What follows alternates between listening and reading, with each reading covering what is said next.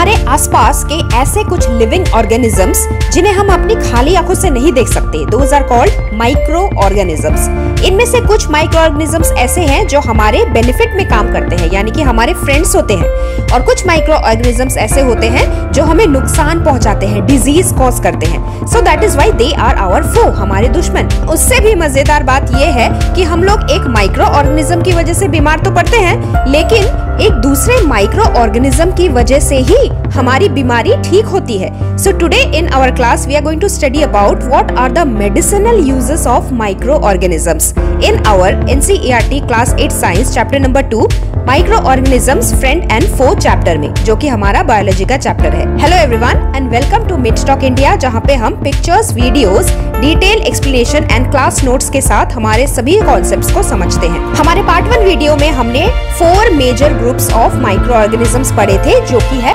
bacteria, fungi, algae and protozoa. Part two video में हमने ये पढ़ा कि हमारे फ्रेंडली माइक्रो ऑर्गेनिज्म हमें किस किस तरीके से बेनिफिट पहुंचाते हैं। जैसे सबसे पहले हमने ये देखा था कि कर्ड मेकिंग में कौन सा माइक्रो ऑर्गेनिज्म हमें हेल्प करता है बेकिंग इंडस्ट्री में ब्रेड केक्स पेस्ट्री बनाने में कौन सा माइक्रो ऑर्गेनिज्म हेल्प करता है? ब्रूइंग इंडस्ट्री में कौन सा माइक्रो ऑर्गेनिज्म हेल्प करता है? आज हम पढ़ेंगे कि माइक्रो ऑर्गेनिजम्स का मेडिसिन बनाने में क्या यूज़ होता है, उन मेडिसिन का क्या नाम है और इसके अलावा वैक्सीन यानी कि टीके, जिससे सभी बच्चे डरते हैं, इन वैक्सीन को बनाने में भी कौन कौन से माइक्रो ऑर्गेनिजम्स का उपयोग किया जाता है? अच्छा दुनिया का जो सबसे पहला वैक्सीन तैयार हुआ था, उसके पीछे एक गाय का रोल भी है। और इस वैक्सीन आविष्कार के पीछे बहुत ही मज़ेदार सी कहानी है, जिसे मैंने इसी वीडियो के लास्ट में शेयर किया है तो वहाँ तक आप ज़रूर देखिएगा। ओके सो लेट्स स्टार्ट तो हमारी लाइफ में हम बहुत बार बीमार पड़ते हैं डॉक्टर के पास जाते हैं और ज़्यादातर टाइम ऐसा होता है कि डॉक्टर हमें कुछ टाइप के टैबलेट्स या फिर कैप्सूल्स देते हैं, जिन्हें वो एंटीबायोटिक्स बोलते हैं। Doctor says that if we take antibiotics हम एकदम जल्दी से ठीक हो जाएँगे। तो ये जो एंटीबायोटिक्स है मतलब कोई बायोटिक्स जैसी कोई चीज़ें हैं जिसके एंटी में, जिसके खिलाफ ये मेडिसिन काम करते हैं, ये किस टाइप के मेडिसिन होते हैं?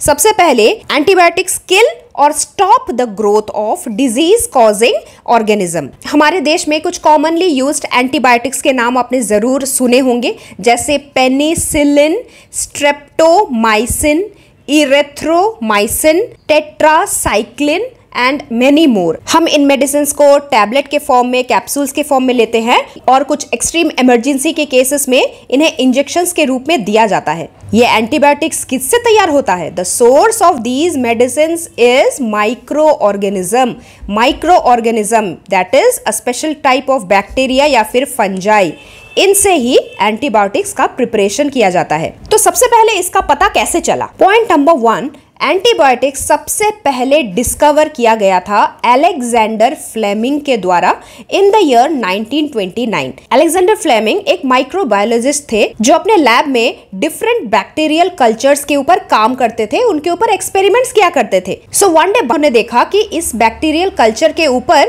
कुछ फंजाई ग्रो करने लगे हैं। और ये फंजाई कुछ ऐसे केमिकल्स बना रहे हैं जिसकी वजह से जो बैक्टीरिया का कल्चर है, वो नष्ट हो रहा है डिस्ट्रॉय हो रहा है। तो उसी से अलेक्जेंडर फ्लेमिंग को आइडिया आया कि अगर ये फंजाई बैक्टीरिया को किल कर सकते हैं तो ह्यूमन बॉडी के अंदर जितने भी बैक्टीरियल इन्फेक्शन है, उनको भी किल कर सकते हैं। और इसी ऑब्जर्वेशन से सबसे पहला antibiotics of the world discover हुआ which is called the penicillin penicillium fungi से ही ये वाला एंटीबायोटिक सबसे पहले डिस्कवर हुआ था। Next very important point is antibiotics are very effective in curing diseases caused by bacteria and fungi अगर हमारे बॉडी में किसी तरीके का बैक्टीरियल इन्फेक्शन या फिर फंगल इन्फेक्शन हो गया है तो हम एंटीबायोटिक्स यूज़ करके उसे क्योर कर सकते हैं। लेकिन अगर हमें कोई वायरस का इन्फेक्शन हो गया है, जैसे हमें कॉमन कोल्ड होता है फ्लू होता है, खांसी जुकाम होता है, ऐसे केसेस में एंटीबायोटिक्स उन पर काम नहीं करते। फैक्ट्रीज में लार्ज स्केल में ऐसे फ्रेंडली माइक्रो ऑर्गेनिजम्स को ग्रो किया जाता है like the fungi and the bacteria और फिर उनसे जो केमिकल्स रिलीज़ होते हैं, जो कि आगे चल के हमें एंटीबायोटिक्स को तैयार करने में हेल्प करते हैं, उनका यूज़ किया जाता है to cure a variety of diseases in humans plants and animals also क्योंकि हमारे साथ साथ बैक्टीरिया प्लांट्स और एनिमल्स को भी इन्फेक्ट करते हैं। फॉर एग्ज़ाम्पल जैसे हमने पेनिसिलिन एंटीबायोटिक के बारे में पढ़ा पेनिसिलियम जो फंजाई होता है, इस तरीके का, उसे लार्ज स्केल में ग्रो किया जाता है फैक्ट्रीज में। During the growth and respiration of these kind of penicillium they start to secrete some special kind of chemicals after that factories में इन्हीं केमिकल्स को प्रोसेस करके सेपरेट कर लिया जाता है फंजाई से। और फिर आगे चल के इन्हीं केमिकल्स को प्यूरिफाई करके एंटीबायोटिक्स मेडिसिन बनाए जाते हैं। जब एनिमल्स बीमार पड़ते हैं फॉर एग्ज़ाम्पल पोल्ट्री में जितने भी एनिमल्स होते हैं, जिनका रियरिंग किया जाता है ह्यूमन बेनिफिट के लिए, ऐसे लार्ज स्केल पे एनिमल्स जब बीमार पड़ते हैं तो क्या होता है? उनके खाने के अंदर एंटीबायोटिक्स को मिक्स करके उन्हें खिला दिया जाता है। और इस तरीके से अगर उन्हें किसी टाइप का माइक्रोबियल इन्फेक्शन हो गया है तो उसे ठीक किया जाता है। Not only the stock and poultry in antibiotics are also use to control many plant diseases spray करके प्लांट्स के रूट्स में डालते हैं हैं और जब प्लांट के रूट्स पानी एब्जॉर्ब करते हैं तो उसके साथ साथ जो स्प्रे फॉर्म में एंटीबायोटिक्स हमने दिया है, वो भी प्लांट अपने प्लांट पार्ट्स के अंदर ले लेता है और जितने भी इंफेक्शन कॉजिंग माइक्रोब्स हैं वो किल हो जाते हैं। एंटीबायोटिक्स के बहुत सारे फ़ायदे तो हैं, लेकिन हमें कुछ स्पेशल पॉइंट्स का ध्यान भी रखना होता है। सबसे पहले, बीमारियाँ बहुत अलग अलग टाइप की होती है अलग अलग टाइप के माइक्रोब्स होते हैं, और अलग अलग माइक्रोब्स को किल करने के लिए एंटीबायोटिक्स भी अलग अलग होते हैं, जिसकी जानकारी सिर्फ़ और सिर्फ़ क्वालिफाइड डॉक्टर को ही होती है।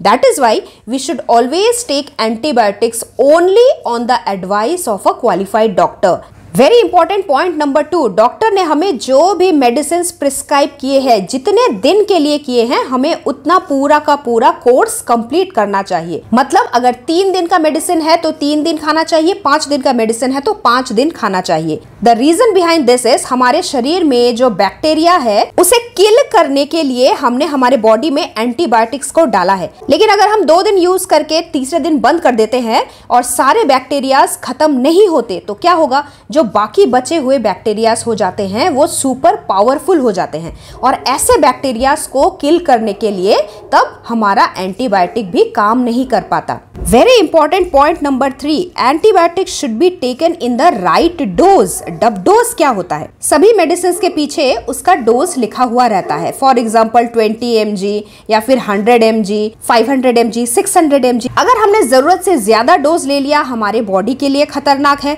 अगर हमने कम डोज ले लिया तो वो लेस इफ़ेक्टिव हो जाएगा, उससे सारे के सारे बैक्टीरियाज नहीं मरेंगे बैक्टीरियाज भी रेजिस्टेंट हो जाएँगे, यानी कि सुपर पावरफुल हो जाएँगे। इसीलिए राइट डोज में लेना बहुत ज़रूरी है। और राइट डोज कौन बताएगा? ये डॉक्टर ही बता पाएँगे। पॉइंट नंबर फोर अपने आप ही एंटीबायोटिक्स नहीं खाना चाहिए। अगर नेसेसरी नहीं है, फालतू में एंटीबायोटिक्स नहीं खाना चाहिए। क्योंकि एंटीबायोटिक्स सिर्फ़ बैड बैक्टीरियाज को ही नहीं, हमारे इंटेस्टाइन में मौजूद जो गुड बैक्टीरियाज है, उन्हें भी किल कर देता है, मार देता है, जो कि हमारे शरीर के लिए ही खतरनाक है। इसीलिए एंटीबायोटिक्स सिर्फ़ तभी लेना चाहिए जब बहुत ही ज़्यादा नेसेसरी हो। और पॉइंट नंबर फाइव तो एंटीबायोटिक्स का एक डिसएडवांटेज है कि ये सिर्फ़ बैक्टीरियल इन्फेक्शन को ही ठीक करता है। अगर हम किसी वायरस की वजह से बीमार हुए हैं इन्फेक्टेड हुए हैं, जैसे सर्दी खांसी हुई है फ्लू हुआ है तब उस केस में एंटीबायोटिक्स काम नहीं करता। आगे बढ़ते हैं और पढ़ते हैं एक और कैटेगरी ऑफ़ मेडिसिन के बारे में, जो कि है वैक्सीन। वैक्सीन शब्द आपने बहुत सुना होगा। बचपन से ही छोटे छोटे बच्चों को जो कि हेल्दी होते हैं उन्हें वैक्सीन दिया जाता है। इनफैक्ट कोरोना पैंडेमिक के टाइम में भी आपने इस शब्द को बहुत सुना होगा कि दुनिया भर के साइंटिस्ट इसी खोज में लगे हैं कि, कि कोरोना का वैक्सीन कब बनेगा कोरोना का वैक्सीन कितने दिनों में बनेगा। Everybody was waiting for it सभी इंतज़ार कर रहे थे कि जल्दी से हमें कोरोना वायरस का वैक्सीन लग जाए तो फिर हमें कोरोना वायरस से कोई खतरा नहीं होगा। इसका क्या मतलब है? इसका ये मतलब है कि वैक्सीन हेल्दी पर्सन को दिए जाते हैं ताकि उसके शरीर में इन्फेक्शन को फाइट करने की शक्ति आए। अब ये कैसे होता है? Let us understand point number one vaccine जो है, एक special kind of medicinal preparation होता है, जो कि हमारे बॉडी में इम्यूनिटी को बढ़ाता है। व्हाट इज़ इम्यूनिटी रोगों को फाइट करने की शक्ति the strength to fight any infection of our body is called immunity point number two is vaccine हमेशा एक हेल्दी पर्सन के बॉडी में ही दिया जाता है। So that they may not get certain type of disease throughout their life even if they are exposed to the disease carrying microorganism, जिन्हें हम pathogens भी बोलते हैं। अब देखिए माइक्रो ऑर्गेनिज्म दो तरह के होते हैं, हमने पढ़ा। एक हमारे फ्रेंड्स होते हैं और दूसरे हमारे दुश्मन होते हैं जो हमें बीमार करते हैं।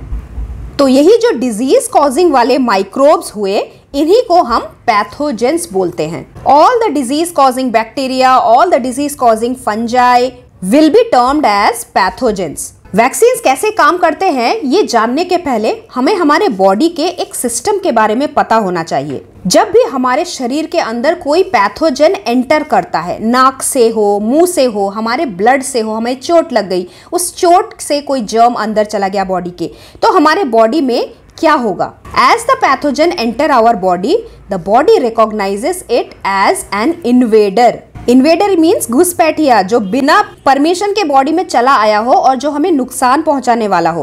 तो ऐसे केस में बॉडी का जो इम्यून सिस्टम होता है, वो एक्टिवेटेड हो जाता है। What is immune system like we have digestive system respiratory system excretory system muscular system various kind of systems in our body similarly we have one immune system also in our body जो हमारे शरीर में जैसे ही कोई pathogen enter करता है activate हो जाता है। अपने प्रीवियस क्लासेस में कंपोजिशन ऑफ़ ब्लड पढ़ा है। ब्लड के अंदर रेड ब्लड सेल्स होते हैं जो ऑक्सीजन को कैरी करता है। प्लेटलेट्स होता है जो किसी भी चोट वाले एरिया में भर के ब्लड के फ्लो को आउटफ्लो को स्टॉप करता है। And we also have white blood cells जो हमारे शरीर के अंदर के इन्फेक्शंस को फाइट करता है। व्हाइट ब्लड सेल या फिर W B Cs are the soldiers of our body जैसे ही कोई पैथोजन हमारी बॉडी में एंटर करता है व्हाइट ब्लड सेल एक स्पेशल टाइप का प्रोटीन बनाना शुरू कर देता है, जिसे हम एंटीबॉडीज बोलते हैं। यही एंटीबॉडीज हमारे शरीर के अंदर जो पैथोजेंस घुस गए हैं, जो हमें बीमार करने वाले हैं, उन्हें किल करता है। अब ये जो सोल्जर्स हैं एंटीबॉडीज है, इनकी एक स्पेशलिटी है। जो एंटीबॉडीज बच जाते हैं, ये एंटीबॉडीज हमारे ब्लड में लाइफ लॉन्ग रह जाते हैं। अगर फ्यूचर में सेम टाइप ऑफ़ पैथोजन हमारी बॉडी में आ गया तो सेम एंटीबॉडीज फिर से फाइट करते हैं और हमें इन्फेक्शन से बचा लेते हैं। तो एंटीबॉडीज हुए हमारे बॉडी के ही अंदर के सोल्जर्स अब इनका वैक्सीन के साथ क्या कनेक्शन है? ये वैक्सीन कुछ ऐसे स्पेशल प्रिपरेशन होते हैं जिनकी वजह से ही हमारे बॉडी में एंटीबॉडीज प्रोड्यूस होते हैं। अगर ये डिसीज कैरिंग माइक्रो बहुत ही ज़्यादा शक्तिशाली है, ताकतवर है तो हमारे बॉडी के सभी सेल्स को किल कर देगा। लेकिन अगर माइक्रोब्स डेड हुए या फिर वीकेंड हुए, यानी कि शक्ति में कम हुए, स्ट्रेंथ में कम हुए, अगर ऐसे टाइप के माइक्रोब्स हमारे बॉडी में आए तो क्या होगा? उस केस में भी हमारे बॉडी में एंटीबॉडीज बनेंगे। इन वीकेंड माइक्रो ऑर्गेनिज्म से फाइट करने के लिए, उन्हें किल करने के लिए। तो यही होते हैं ये vaccines a vaccine contains dead और वीकेंड माइक्रो ऑर्गेनिजम्स या फिर हम इसकी जगह पे इनएक्टिव भी लिख सकते हैं। इनएक्टिव माइक्रो ऑर्गेनिजम्स जो कि हमारे शरीर के लिए उतने खतरनाक तो नहीं है, लेकिन क्योंकि हमारे बॉडी के अंदर ये घुस चुके हैं तो इम्यून सिस्टम एक्टिवेट हो जाता है। The body will start to produce antibodies to kill that pathogen और फिर जो एंटीबॉडीज प्रोड्यूस हुए, वो लाइफ लॉन्ग हमारे ब्लड में रह जाते हैं। और अगर फ्यूचर में ये जिस टाइप के डेड और वीकेंड माइक्रो ऑर्गेनिज्म थे, यही सेम टाइप के माइक्रो ऑर्गेनिजम्स ज़िंदा माइक्रो ऑर्गेनिजम्स पूरे शक्ति वाले माइक्रो ऑर्गेनिजम्स हमारे बॉडी में आ जाते हैं, हमें बीमार करने लगते हैं तो सेम टाइप ऑफ़ एंटीबॉडीज जो हमारे ब्लड में ऑलरेडी है, ये जाग जाते हैं। पैथोजेंस को फाइट करने लगते हैं और इन्हें किल कर देते हैं। So next point what do we conclude here vaccine हमें किसी भी डिसीज के खिलाफ इम्यूनिटी देता है स्ट्रेंथ देता है, ताकि फ्यूचर में अगर वो डिसीज कॉजिंग पैथोजन हमारे बॉडी में आ गया तो हमारे बॉडी में पहले से ही वो एंटीबॉडीज रेडी हो जो इस डिसीज को फाइट कर सकते हो।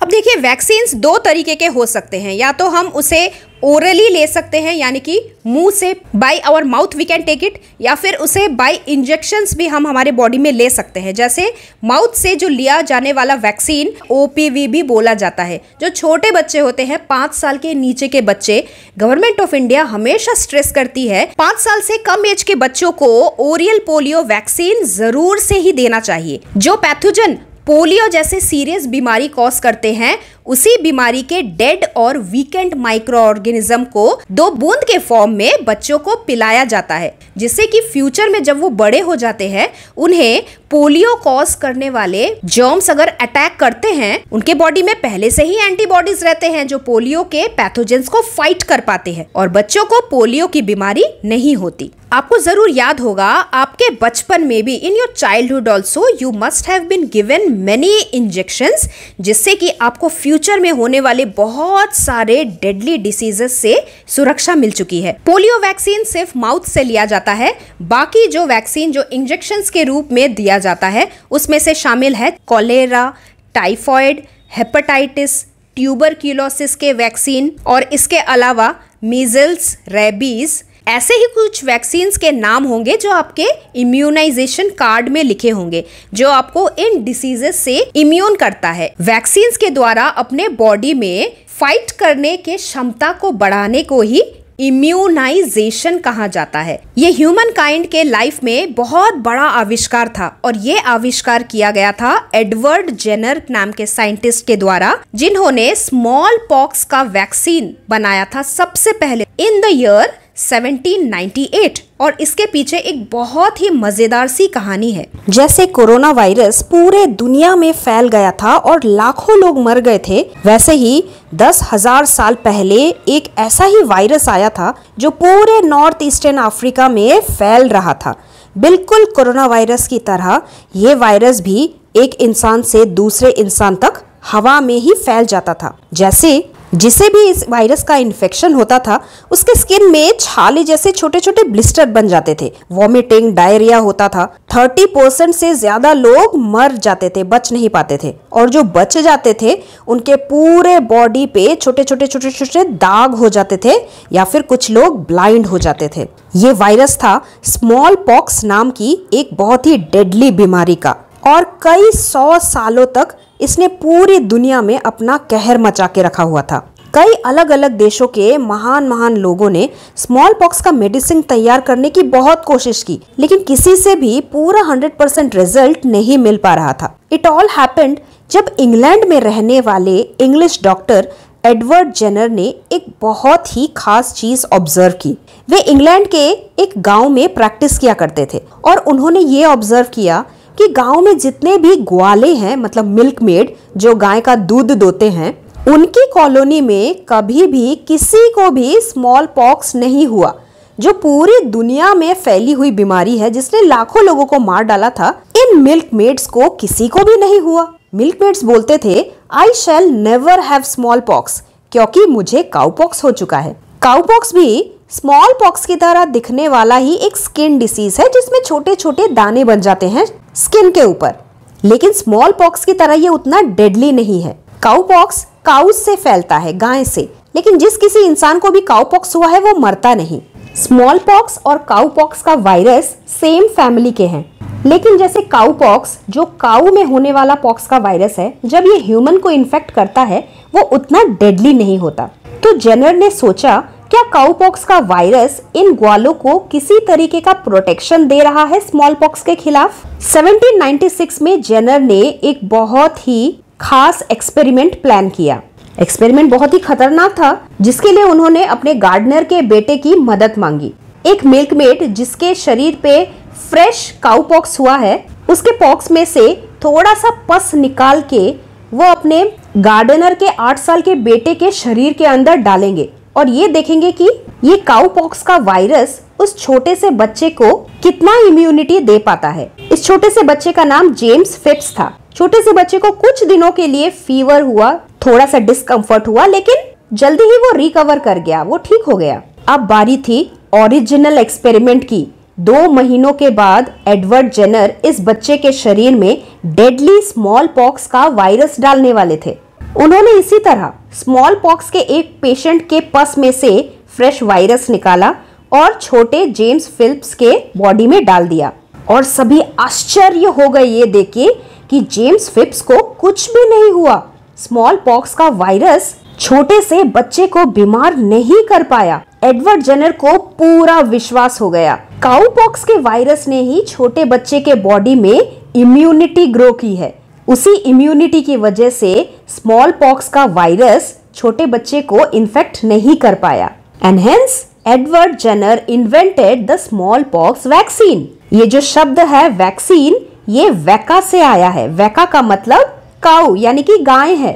इवेंचुअली एंड ग्रेजुअली धीरे धीरे करके पूरे विश्व के लोगों ने वैक्सीनेशन के इस प्रोसेस को सही साबित किया।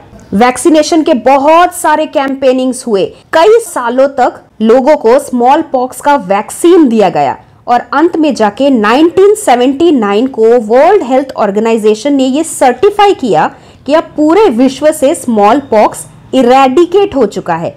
इरेडिकेट होने का मतलब पूरे विश्व से इस स्मॉल पॉक्स वायरस का नामो निशान उठ चुका है, क्योंकि पूरे विश्व के लोग इम्यून हो चुके हैं। इस वायरस के खिलाफ। ठीक उसी तरीके से जैसे कोरोना वायरस का वैक्सीन जब तैयार हुआ था तो पूरे विश्व के लोगों को फ़ेज़ बाई फ़ेज़ इम्यूनाइज किया जा रहा था। और सिर्फ़ स्मॉल पॉक्स ही नहीं, कोरोना वायरस ही नहीं, ऐसे बहुत सारी बीमारियाँ हैं जिनसे बचा जा सकता है सही समय पे वैक्सीन लेके। और ये सब वैक्सीन कैसे बनते हैं? डेड वीकेंड या फिर इनएक्टिव माइक्रोब्स के ज़रिए। So these are all the medicinal uses of micro organisms I hope आपको आज की क्लास बहुत मज़ेदार लगी होगी। आगे हम पढ़ेंगे कि माइक्रो ऑर्गेनिजम्स एनवायरमेंट को कैसे क्लीन करते हैं in our next part so stay tune will meet very soon thank you very much bye bye